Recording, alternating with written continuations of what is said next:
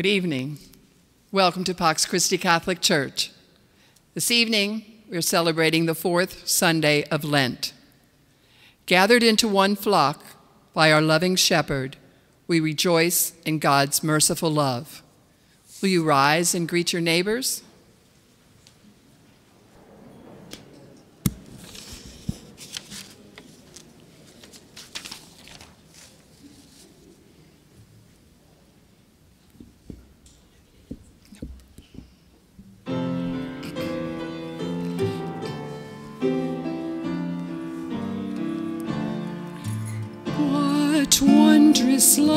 Is this, oh my soul, oh my soul? What wondrous love is this,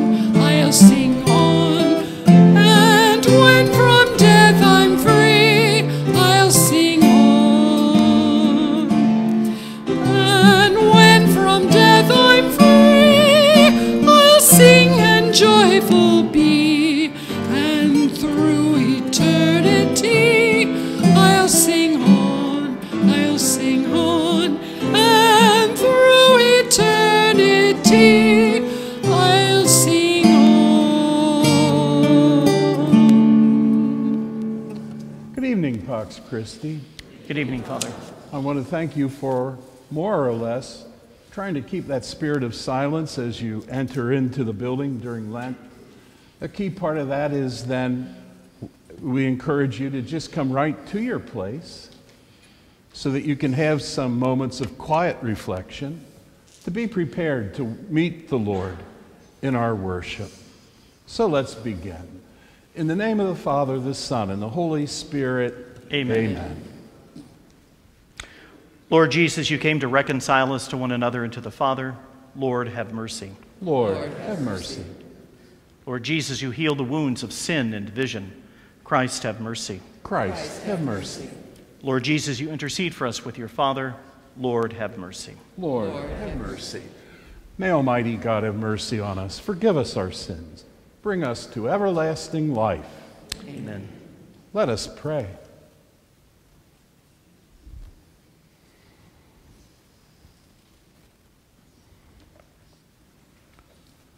O God, who through your word reconcile the human race to yourself in a wonderful way, grant, we pray, that with prompt devotion and eager faith, the Christian people may hasten towards the solemn celebrations to come. Through our Lord Jesus Christ, your Son, who lives and reigns with you in the unity of the Holy Spirit, God, forever and ever. Amen.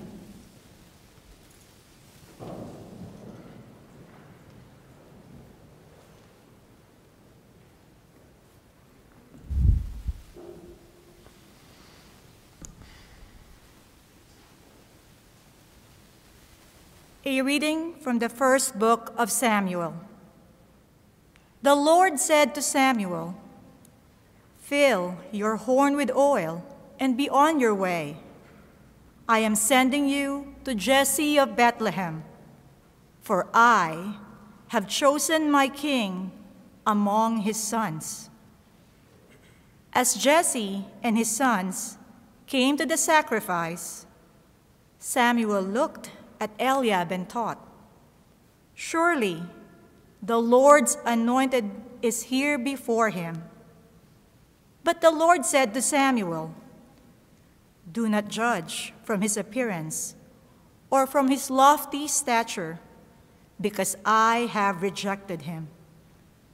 Not as man sees, does God see, because man sees the appearance, but the Lord looks into the heart.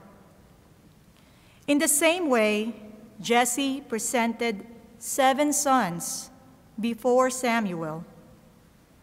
But Samuel said to Jesse, The Lord has not chosen any one of these. Then Samuel asked Jesse, Are these all the sons you have?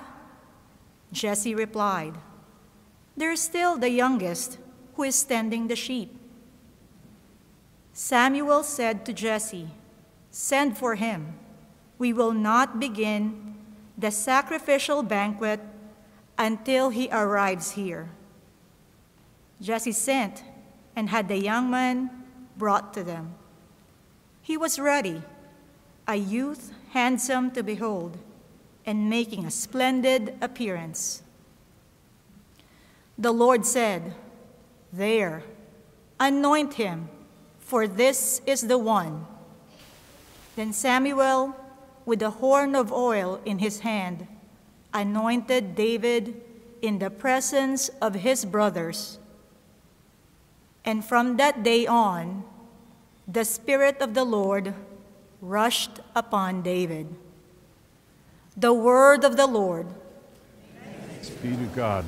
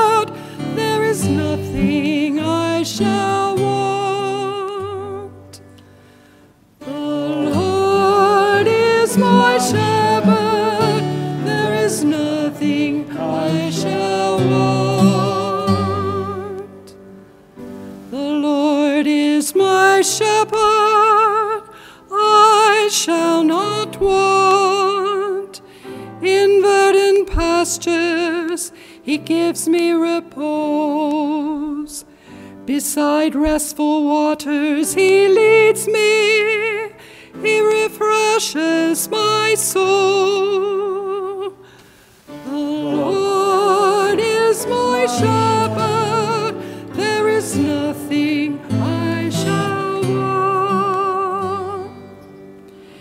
He guides me in right paths for his name's sake. Even though in the dark valley, I fear no evil. For you are at my side with your rod and your staff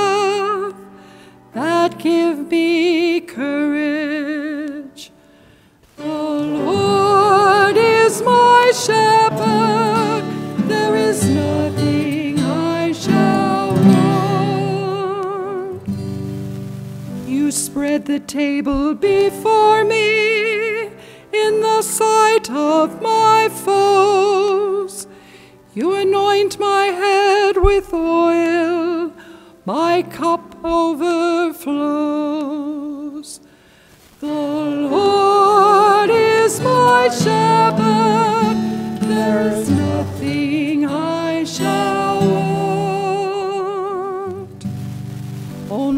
goodness and kindness follow me all the days of my life, and I shall dwell in the house of the Lord for years to come.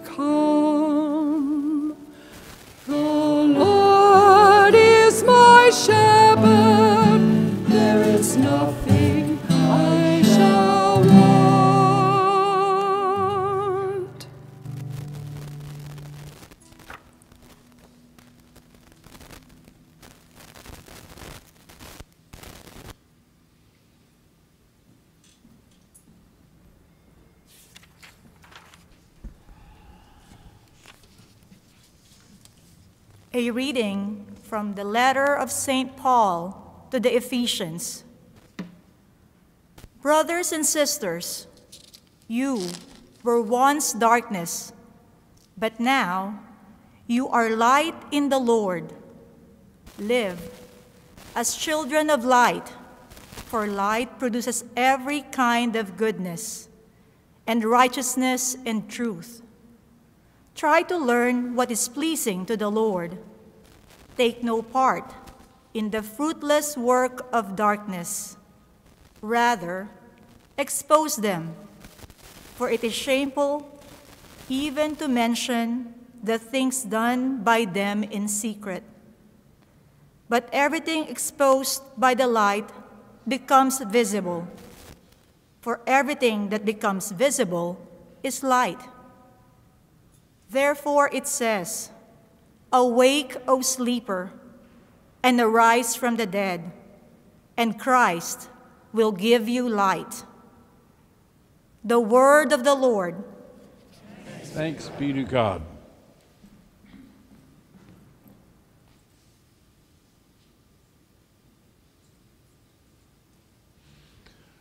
The church gives us long, fascinating gospel stories during Lent. Again, this evening I will read the gospel in parts. I will make my comments throughout the course of the gospel reading. So it's kind of combining reading the gospel with my homily. As a result, I would encourage you, even when we begin singing the gospel acclamation, to just remain seated for this. Thanks to Deacon John for allowing me to go ahead and read today's gospel. I wish she would.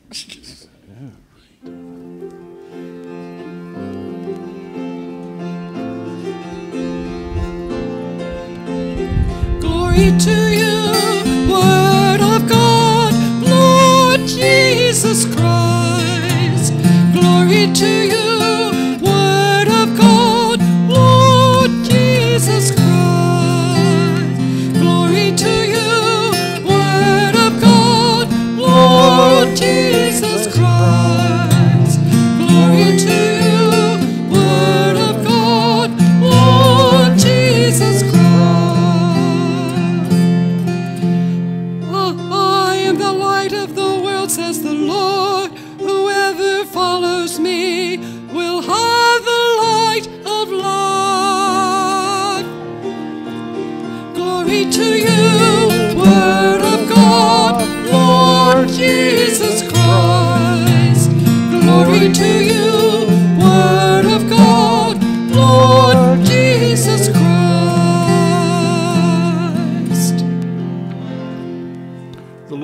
With you. A reading from the Holy Gospel according to John. As Jesus passed by, he saw a man blind from birth. His disciples asked him, Rabbi, who sinned, this man or his parents, that he was born blind? Jesus answered, Neither he nor his parents sinned. It is so that the work of God may be made visible through him. It's not necessary for us to conclude from this line that God chose to make this man blind from birth and turn him into a beggar. Jesus, rather, here is saying it's a situation that we can use to show the world a better way. We have to do the works of the one who sent me while it is day. Night is coming when no one can work. While I am in the world, I am the light of the world.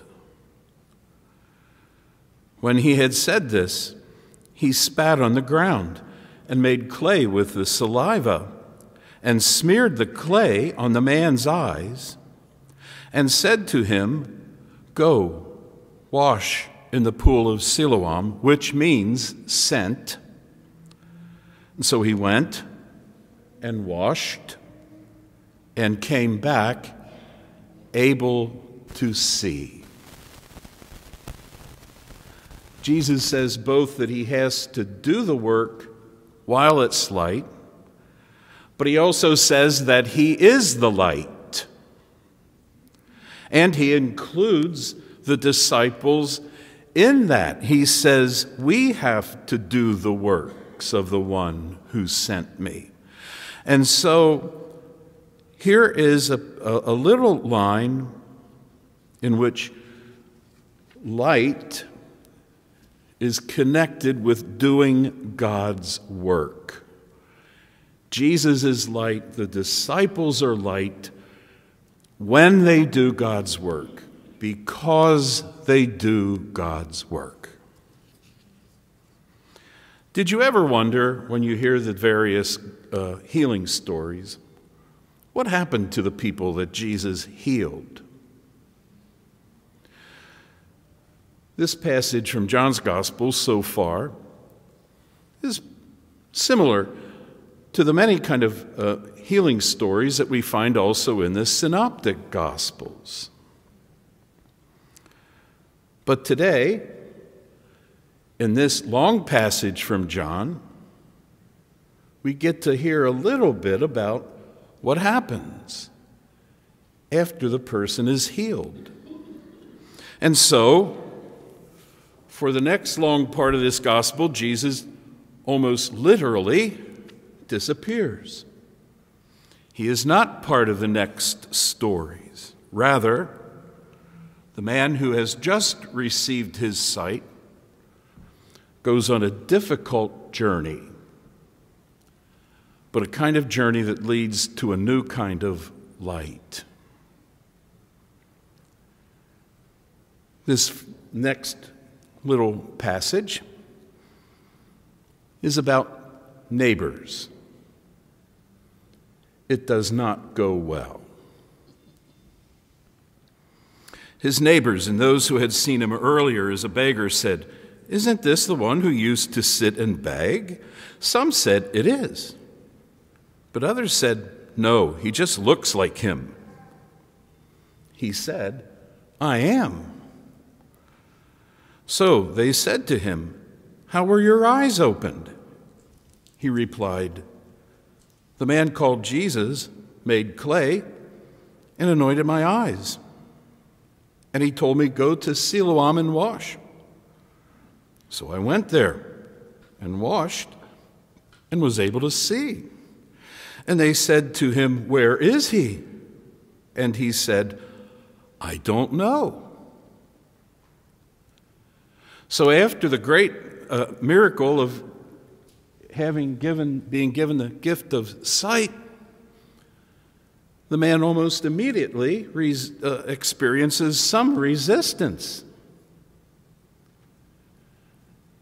This is not the big happy celebration that we might expect for the sake of this man on his behalf there's a bit of resistance. They don't want to recognize him. It can't be him.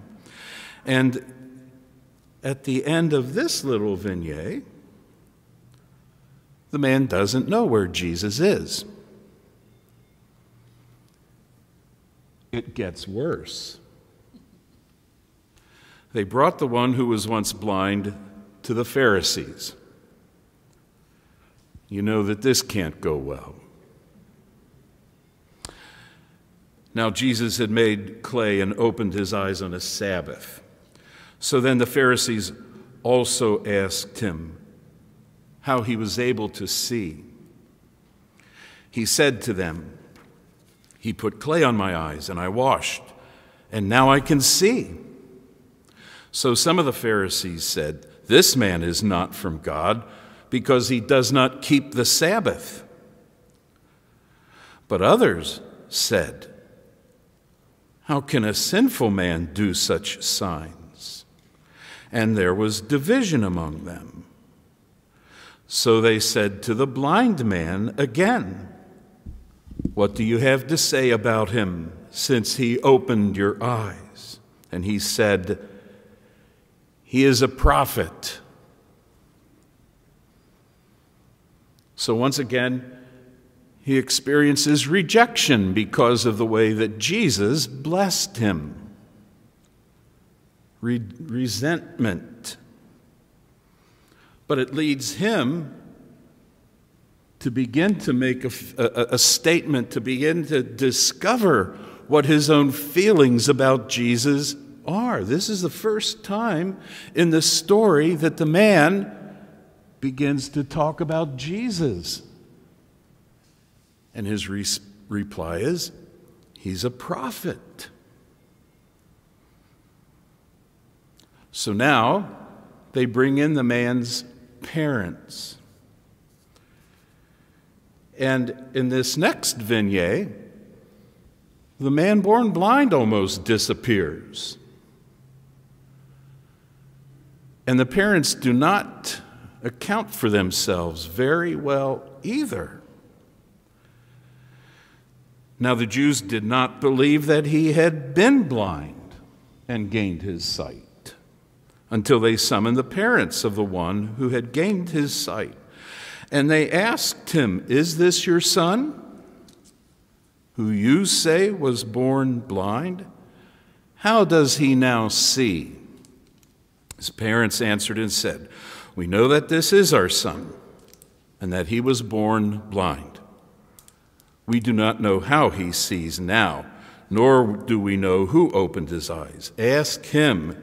He is of age. He can speak for himself. His parents said this because they were afraid of the Jews. For the Jews had already agreed that if anyone acknowledged him as the Christ, he would be expelled from the synagogue. And for this reason, his parents said, He is of age question him. That must have been hard to hear. That, uh, at least in this way, the man's own parents abandoned him out of fear. They abandoned him because he had received a great gift. Nobody seems capable of celebrating with this poor man.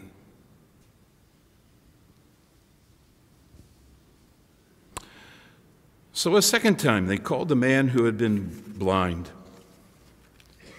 and said to him, Give God the praise. We know that this man is a sinner. He replied, If he is a sinner, I do not know. One thing I do know is that I was blind, and now I see. So they said to him, What did he do to you? How did he open your eyes? He answered them, I told you already, and you did not listen. Why do you want to hear it again? Do you want to become his disciples too? They ridiculed him. You are that man's disciples.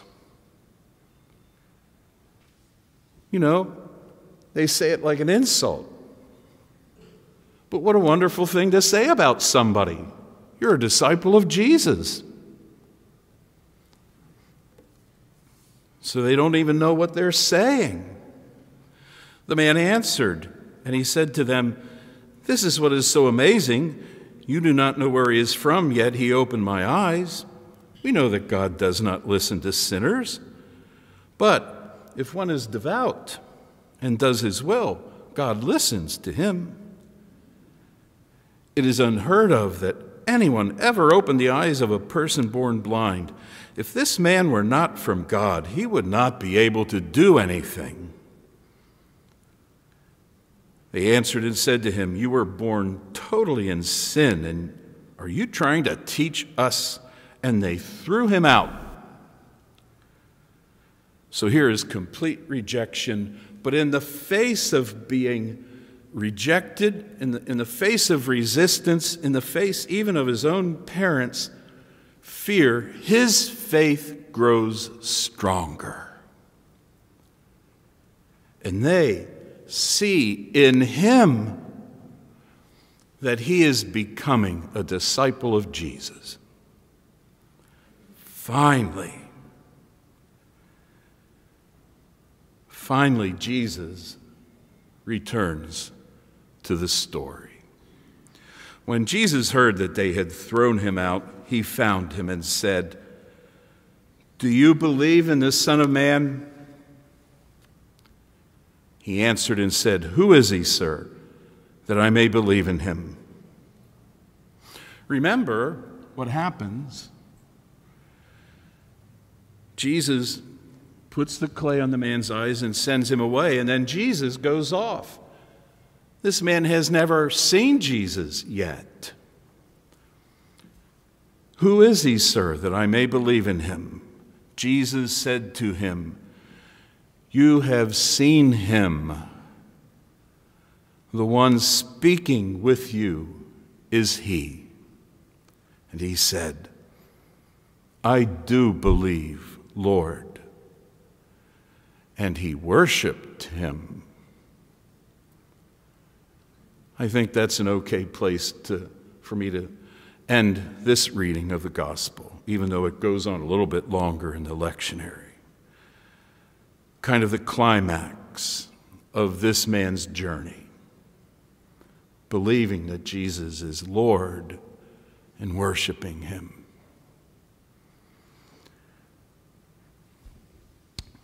Our growth in faith is not always an easy path, is it?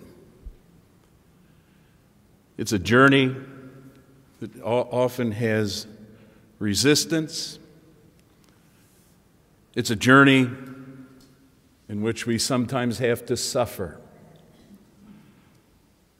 The story tells us, if we're willing to believe it, that even if we sometimes do experience resistance, even if there are times when others would eh, challenge us to doubt our faith,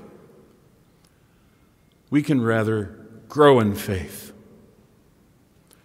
The beginning of this gospel passage, Jesus says, Light is work to do. And 25 years, 30 years later, Paul said, You are light. Live as children of light.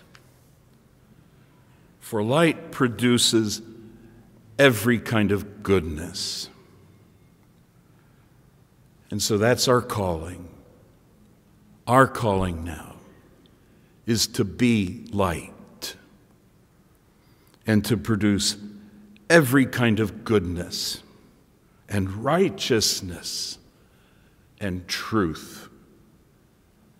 Sometimes it's hard to do. Sometimes it's hard because other people don't want to receive goodness or righteousness or light. Sometimes it's hard to find the light in ourselves to think that we can share it and be light for others. But as we hear this man's struggle, and yet through struggle, see him grow in faith, we can go out into this, if cold, glorious evening with greater confidence that we can be God's light for others and that God's light can truly shine through us.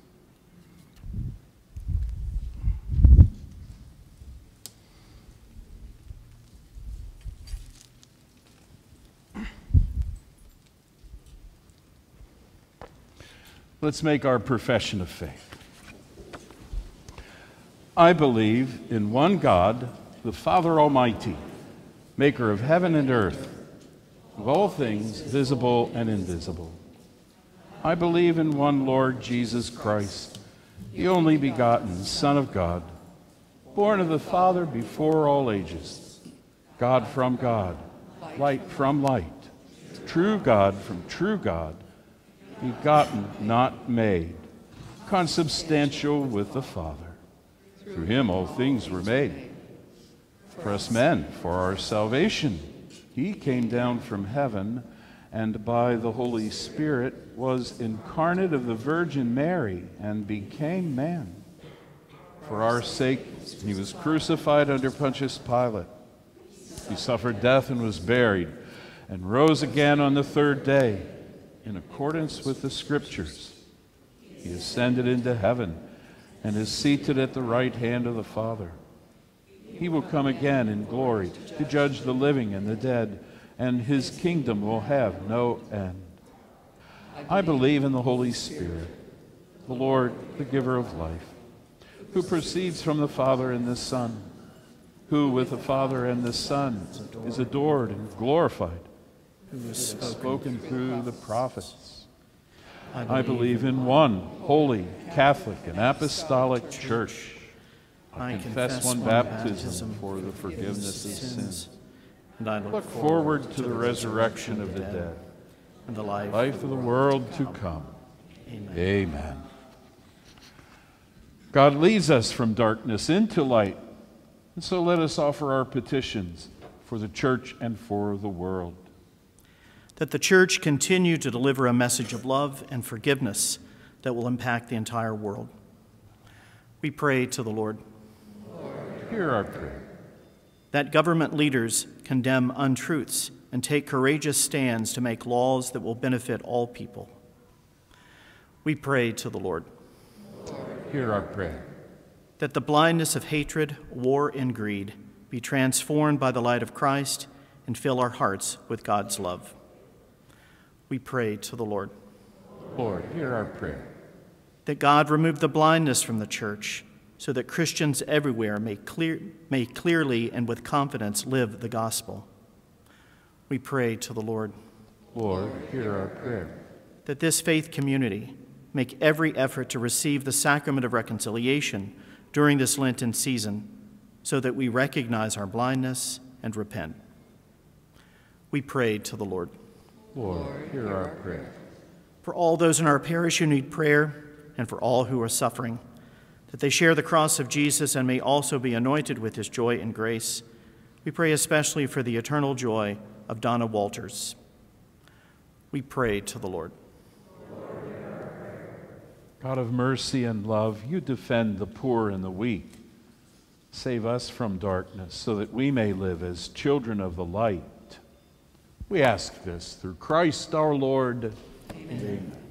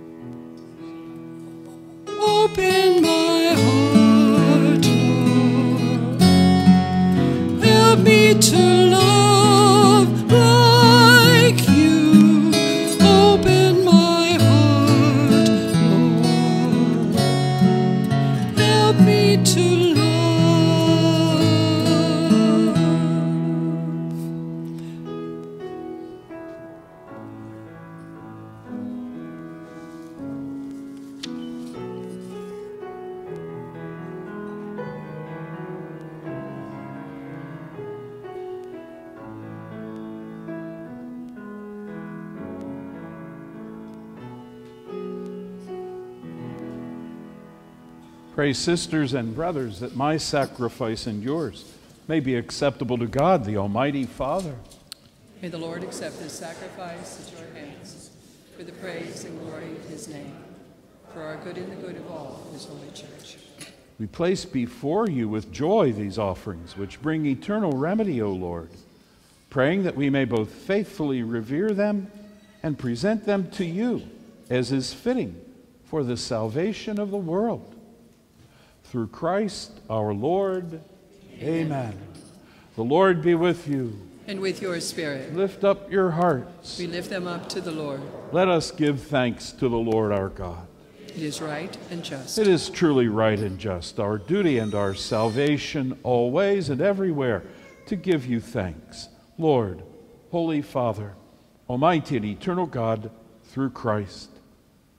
By the mystery of the incarnation, he has led the human race that walked in darkness into the radiance of the faith and has brought those born in slavery to ancient sin through the waters of regeneration to make them your adopted children. Therefore, all creatures of heaven and earth sing a new song in adoration, and we, with all the hosts of angels, cry out and without end acclaim.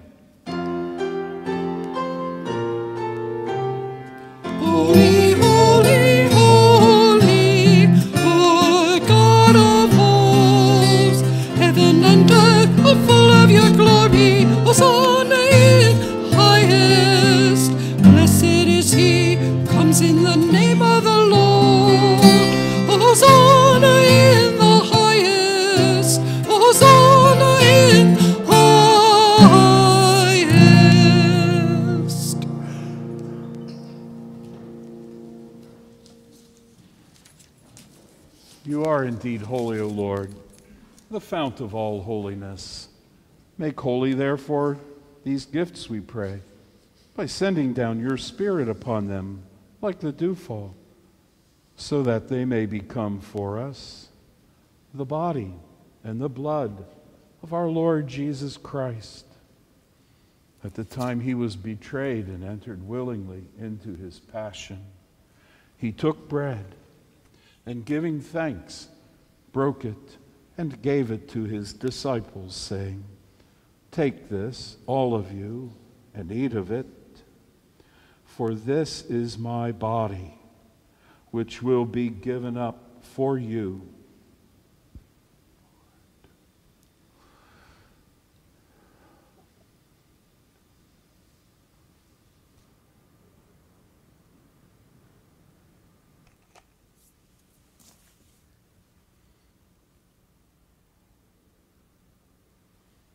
In a similar way, when supper was ended, he took the chalice and once more giving thanks, gave it to his disciples, saying, Take this, all of you, and drink from it.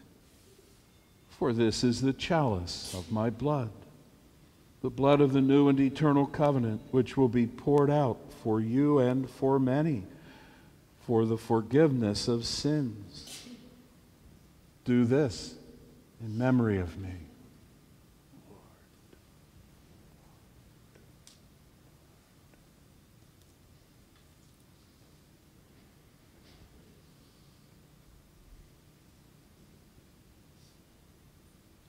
The mystery of faith.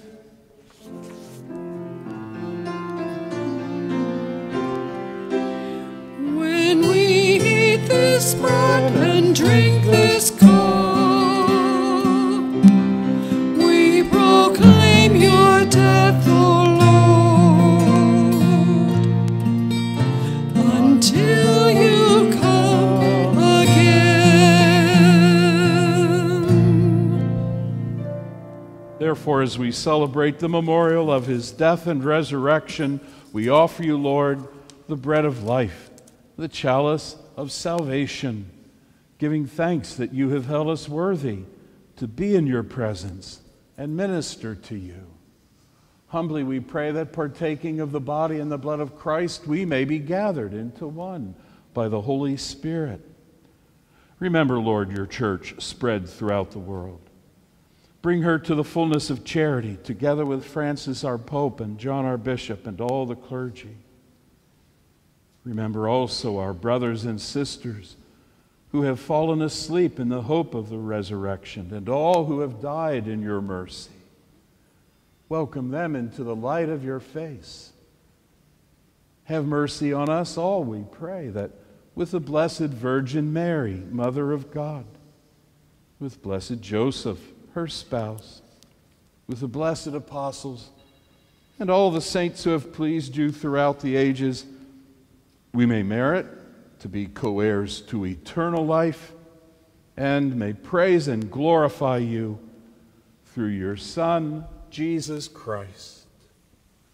Through him, with him, and in him, O God Almighty Father, in the unity of the Holy Spirit, all glory and honor is yours forever and ever.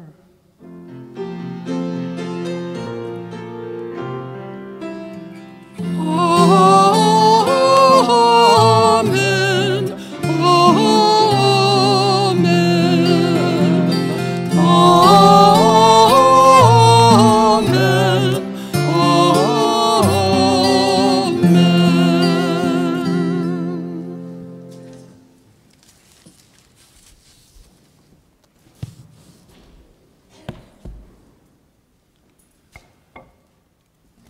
Let us offer our lives in faithfulness to the Father. Our Father, who art in heaven, hallowed be thy name. Thy kingdom come, thy will be done, on earth as it is in heaven. Give us this day our daily bread, and forgive us our trespasses, as we forgive those who trespass against us. And lead us not into temptation, but deliver us from evil. Deliver us, Lord, we pray, from every evil. Graciously grant peace in our day, that by the help of your mercy we may be always free from sin, safe from all distress, as we await the blessed hope, the coming of our Savior, Jesus Christ. For the For the kingdom, the power, and the glory are yours now and forever. The peace of the Lord be with all of you. And with your spirit. Let us offer one another the sign of peace.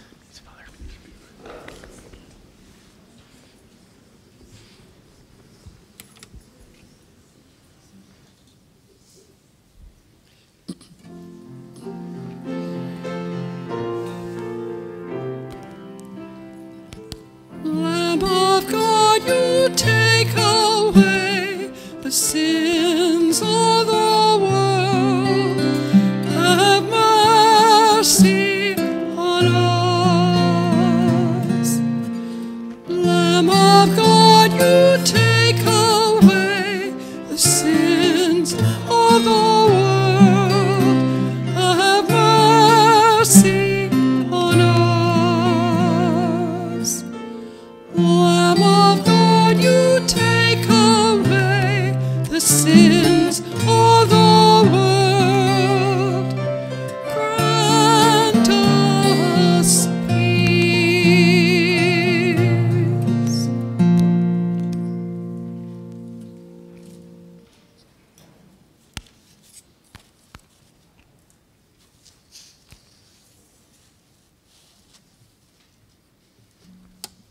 Lamb of God. Behold him who takes away the sins of the world. Blessed are those called to the supper of the Lamb. Lord, I am not worthy that you should enter under my roof, but only say the word, and my soul shall be healed.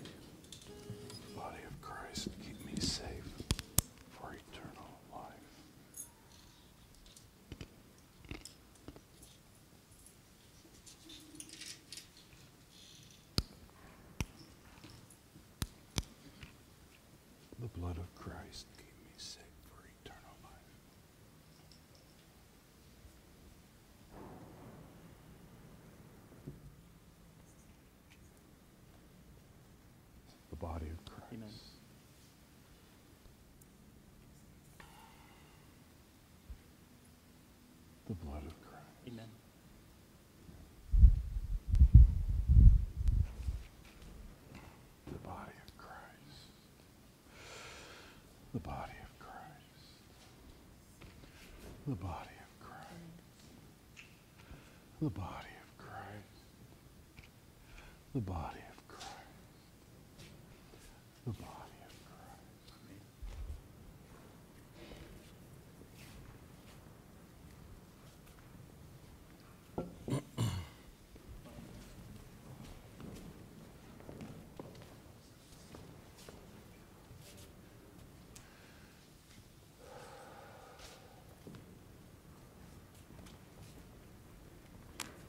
Which way are you going? Would you go to the center?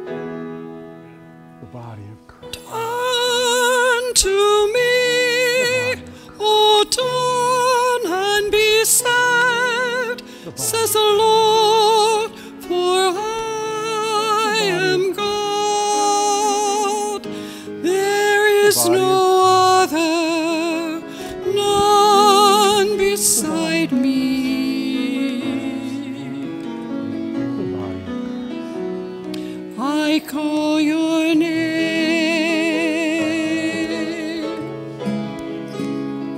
I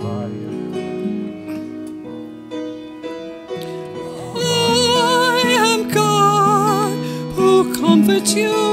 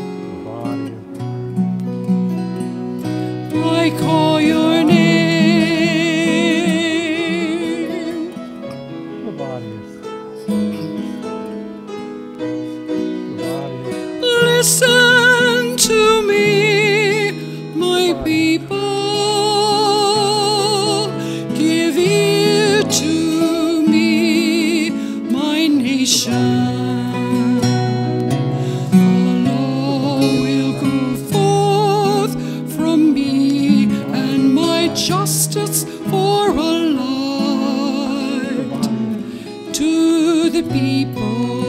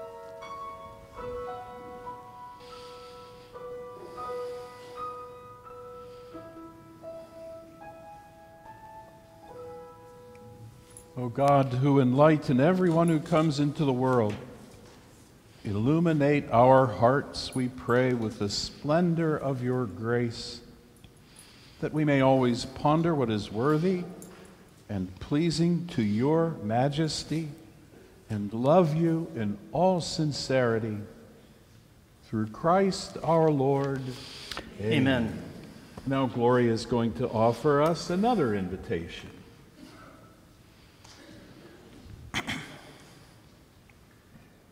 Good evening. As Father said, I'm Gloria Becker, and I'm here on behalf of the Social Life Committee.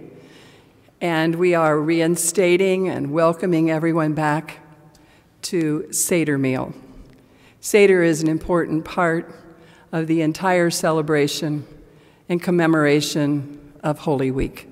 It's different than many of the um, events we have here at church in that it isn't a party. Not that we don't have fun there, but it is liturgy, and it is a family community meal. It's going to be held on Tuesday of Holy Week this year, which is April the 4th at 6:30 downstairs. It is a potluck. We have sign-ups in the back in the gathering space this week and next week. And then we're going to be ordering enough lambs to uh, feed all of you. And we hope that we get your cooperation in um, helping us cook those lambs. So there's an opportunity back in the back of church to sign up. Seder is a celebration of the connection between the Jewish heritage and our Eucharist. Seder is the meal that Jesus shared and instituted, the Eucharist with his disciples and with us. So I do encourage you to consider coming. It is very beautiful, it has more meaning than many things that we get to do here um, as social life. So come and be part of Seder meal this year. Thank you very much. Thank you, Father. Thank you, Gloria. Thank you, dear. Now the Lord be with you. And with your spirit. May Almighty God bless us, the Father, and the Son, and the Holy Spirit. Amen. Go in peace. Thanks, Thanks be, to God. God.